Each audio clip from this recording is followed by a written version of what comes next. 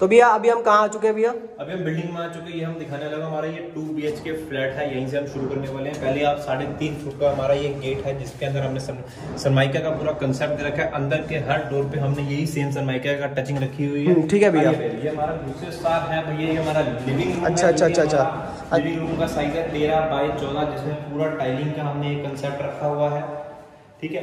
और हमारा अगर वॉल्स की बात करें तो इसमें हमने वॉल में यहाँ पे ये टच दे रखा है उसका एक हमने टेक्सचर का टच हमने यहाँ पे ऑरेंज कलर का आपको इसमें ये दे रखा है। साथ ही साथ में हमने इसको फॉल सीलिंग का कंसेप्ट दे रखा है। फॉल सीलिंग दिखाने के लिए कैसे चाहिए? दोनों तरफ़ हमने इसमें फॉल सीलिंग एलईडी लाइट का कंसेप्ट रखा हुआ है। सामने की अगर हम बात करें तो हमारी ये किचन मॉड्यूलर किचन होने वाली, जिसके अंदर हमने ये ग्रेनाइट का यहाँ पे पत्थर लगाया हुआ है। साथ ही साथ हमने आपको स्टेनलेस स्टील के अंदर ये सारी बकेट दे रखी है। जिसमें हम आपको कोई भी ओपन बिल्कुल स्मूथली ओपन कर सकते हैं। इसमें आपको कोई भी प्रॉब्लम नहीं होगी साथ ही साथ में हमने आपके टाइल का कंसेप्ट रखा है कि कोई भी अगर आप खाना बनाते हैं, कुछ भी बनाते हैं, कोई भी छीट ना पड़े, ये हमने माइक्रोवेव के लिए आरओ के लिए हमने स्विच बोर्ड दे रखे हैं। ऊपर भी आप देख सकते हैं स्टोरेज की भी किसी प्रकार की कोई कमी नहीं है। अगर वेंटिलेशन की इसके अंदर में बात करें तो वेंटिलेशन के लिए हमने यहाँ पे डोर वेंटिलेशन के लिए विंडो दे रखी है, एक शाप बना रखी है। ये हमारा जो लिविंग रूम है तेरह बाई चौदह, अगर हम इसके नक्शे की बात करें तो इसके अंदर हमारा टू बी एच के अंदर दोनों बेडरूम जो है, दोनों फ्रंट पे पड़ते हैं। एक हमारे यहाँ पे कॉमन वॉशरूम है, एक हमारा बेडरूम अटैच वॉशरूम है और एक बेडरूम के साथ हमने अलमीरा का कंसेप्ट रखा हुआ है। आइए भैया, पहले हम आपको उनका कॉमन वॉशरूम दिखा दें। कॉमन वॉशरूम में हमने इंडियन कंसेप्ट का हमने रखा हुआ है, जो कि हमारा पाँच बाई सात का ये वॉशरूम है, साथ में टाइलिंग का, आठ फुट तक टाइलिंग का हमने कंसेप्ट रखा है। अगर रूम की बात करें रूम हम आपको पहले ये हमारा दोनों रूम हमारे फ्रंट बालकनी के साथ अटैच करते हैं। आइए पहले हम आपको मास्टर बेडरूम दिखा देते हैं, जिसके अंदर हमने ये अटैच एक वॉशरूम रखा हुआ है। इस अगर रूम के हम साइज़ की बात करें तो 10 बाई 10 अप्रोक्स साइज़ में हमने रूम बनाया हुआ है। रूम के अगर अंदर आके आप अब ये देखें वॉलिंग के अंदर हमने सेम वही कंसेप्ट रखा हुआ है, एक वॉल हम हमेशा डिफरेंट रखते हैं। स्विचेस की भैया, अगर हम बात करें तो हर में हमने स्विच में हमने कोना ब्रांड के हमने यहाँ पे स्विच लगाए हुए हैं। ठीक है? इसका साइज़ हमने बता ही दिया, जैसे आपको 10 बाई 10 अप्रॉक्स रखा गया। साथ में हमने एक अटैच वॉशरूम दिया हुआ है। अटैच वॉशरूम की बात करें तो ये भी 5 बाई 7 का हमने साइज़ का निकाला है। सात फुट तक इसके अंदर भी हमने टाइलिंग कंसेप्ट रखा हुआ है। इसी से अगर हम एंटर करें तो भैया, ये हमारी बालकनी है। हमारी बालकनी है। बालकनी में हमारे दोनों रूम अटैच है। फ्रंट पे हमारे दोनों रूम पड़ते हैं। दोनों को बालकनी मिलती है। ये हमारा वॉशिंग मशीन या कुछ भी आप इन्वर्टर कुछ भी रखना चाहे, ये हमने उसके लिए एक सॉकेट दे रखा है। अगर बालकनी की हम चौड़ाई की बात करें तो पाँच फुट चौड़ाई की हमारी बालकनी है।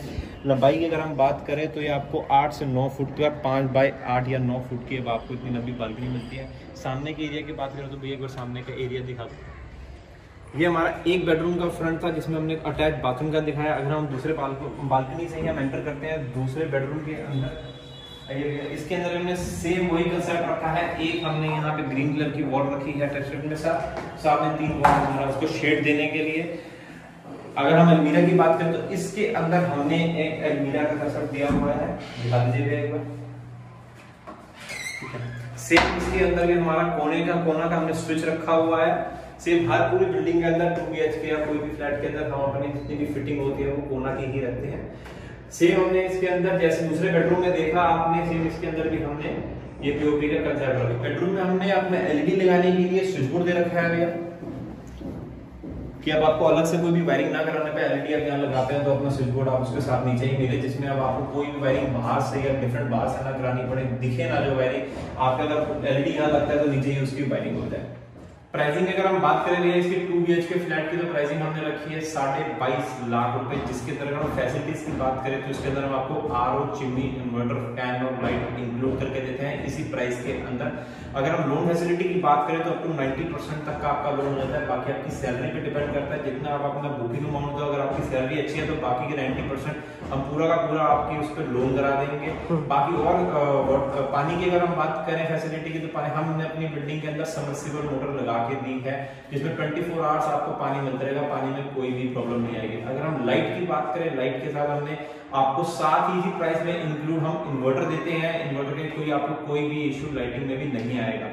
ट्रांसपोर्टेशन की बात करें तो ट्रांसपोर्टेशन यहाँ से बहुत नियर है हर चीज़ का। अगर हम मेट्रो स्टेशन की बात करें तो शिवगढ़ मेट्रो स्टेशन हमारे यहाँ से अभी तीन किलोमीटर दूरी पे पड़ता है। अगर हम नियरेस्ट और मेट्रो स्टेशन की बात करें तो हमारा मेट्रो स्टेशन अंडर कंस्ट्रक्शन चल रहा है। खजूरी मेट्रो स्टेशन जो कि सिग्नेचर ब्रिज के पास पड़ता है। और बाकी अगर हम बैटरी रिक्शा ऑटो की बात करें तो वो भी इजीली अवेलेबल है। अगर कहीं से भी आप आना चाहे आप इजीली आ सकते हैं यहाँ मतलब कनेक्टिविटी बहुत अच्छी है। कनेक्टिविटी यहाँ पे बहुत अच्छी है। चाहे वो ऑटो की हो बैटरी रिक्शा किसी भी चीज़ की कनेक्टिविटी हो सब कुछ वॉकिंग डिस्टेंस पे आपको पुश्ता रोड जो भी है वो सब कुछ सामने ही पड़ता है।